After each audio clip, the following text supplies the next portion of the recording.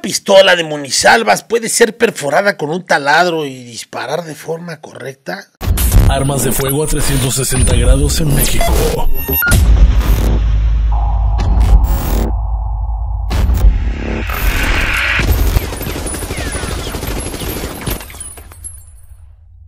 Señoras y señores, ¿cómo están? Es un gusto tenerlos por aquí de vuelta en su canal Armas de Fuego a 360 grados en México.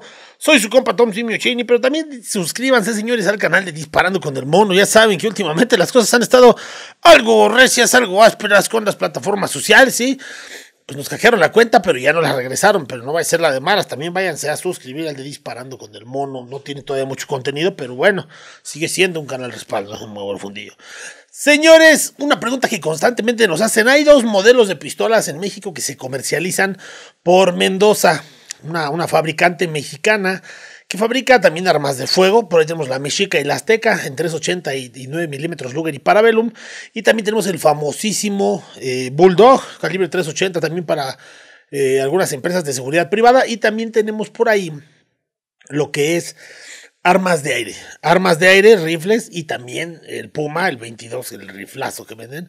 Pero también venden armas de munisalva. Si armas que tú le metes una munición enfrente, un diablo, ya sea un diablo o una munición de acero, disculpen si me dio comezón, eh, y le metes una salva que es eh, mercurio. Mercurio o pólvora, pero creo que es mercurio, por eso no están reguladas las salvas, también son utilizadas para hacer chambas de poner clavos de concreto y todo ese rollo. Entonces, al parecer, digo, no van a aparecer. Eh, hay dos modelos de Mendoza, uno, de cañón largo y uno de cañón corto, se los voy a estar poniendo por aquí en las, las imágenes. Que mucha gente me dice, yo la perforé y disparo un 22 sin duda alguna. Miren, el calibre 22 LR, el calibre 22 Long Rifle tiene un... Eh, el calibre se determina por el diámetro el diámetro de la ojiva, cuánto mide de lado a lado la ojiva. Muchas de estas pistolas de munisalva son 5.5 milímetros, también hay 4.5, pero lo más común es 5.5.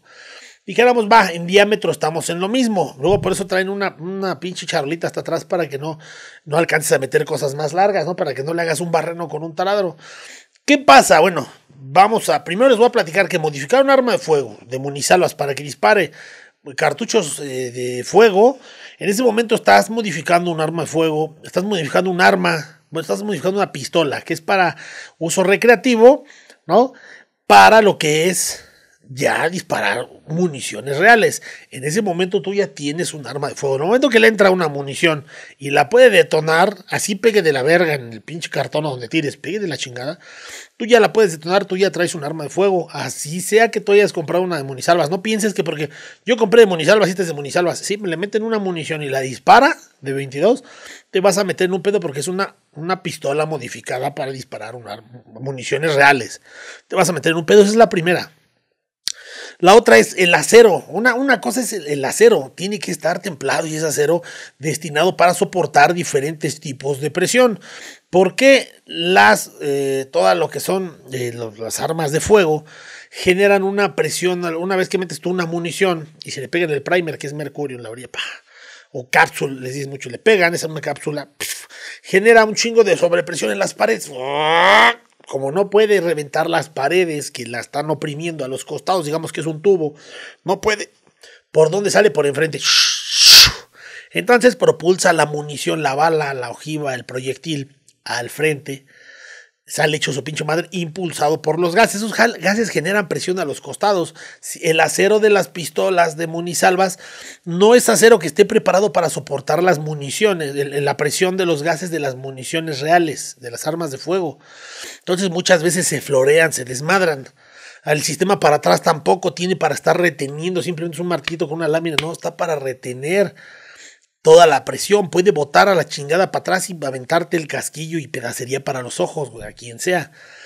Ese es, ese es otro detalle. Una que es delito, ¿no? Una que es un pinche delito hacer esa madre.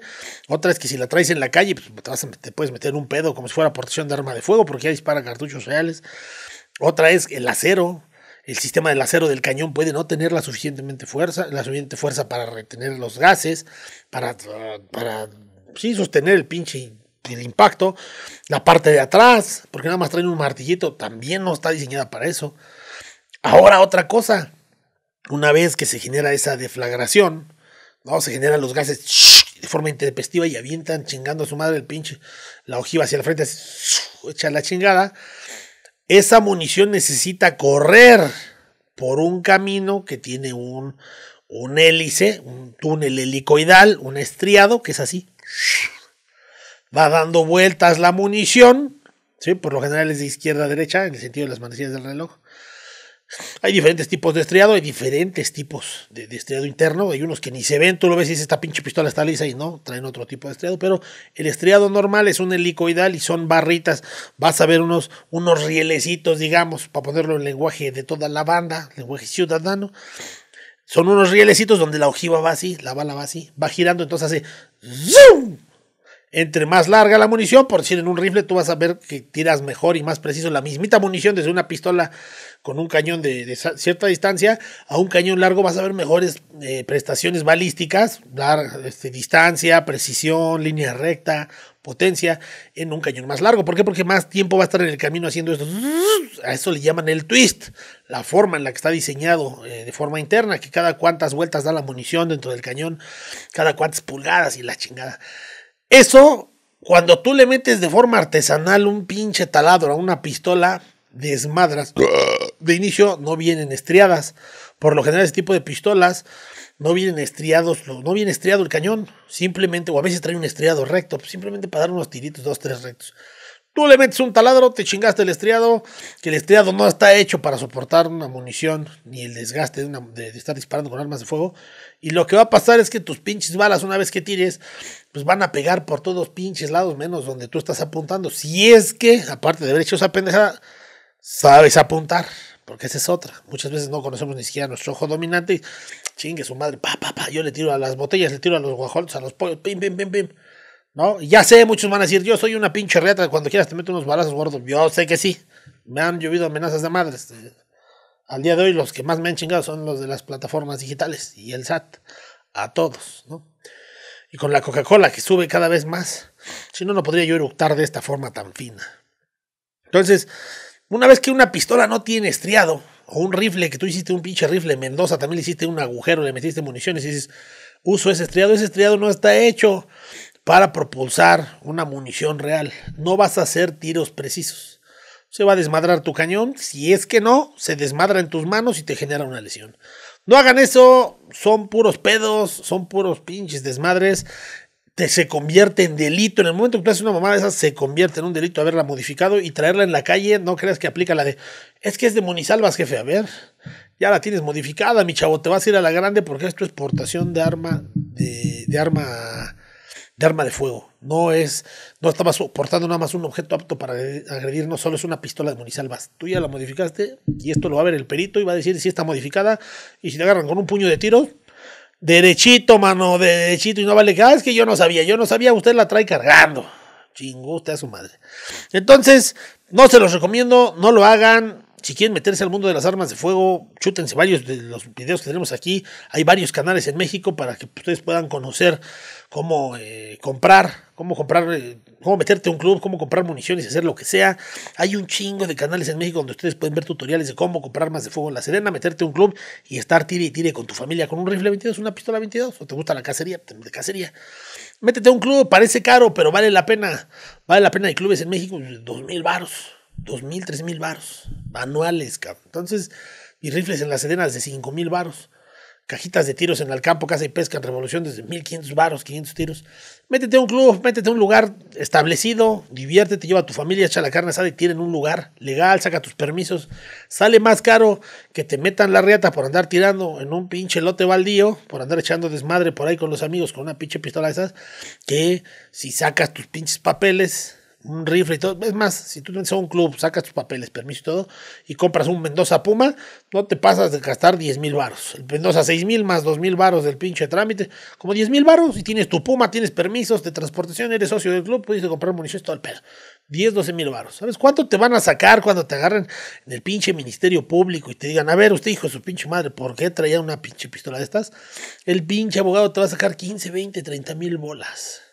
Si te aflojan los polis que te detengan o la Guardia Nacional Marina, Semar, quien te meta de reata, te va a sacar 15, 20 mil varos, 30 mil, porque traes un arma de fuego. ¿Para qué?